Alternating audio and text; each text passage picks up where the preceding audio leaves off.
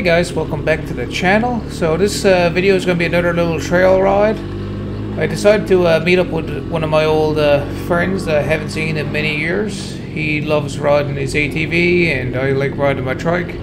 So we decided to go on a little adventure and um, just go exploring some trails, see if we can find anywhere cool to go.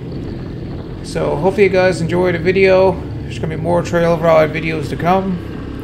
Uh, my buddy's driving a Suzuki King Quad, and I'm still driving the little 200M. Having lots of fun. 1985 200M. She's taking me everywhere.